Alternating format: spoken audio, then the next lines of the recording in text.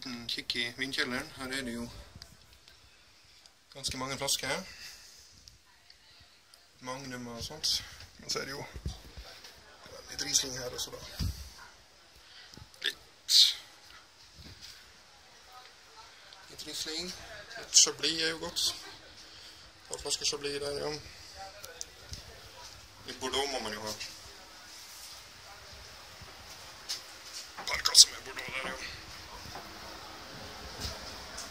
it's at the maten It is i serveringen.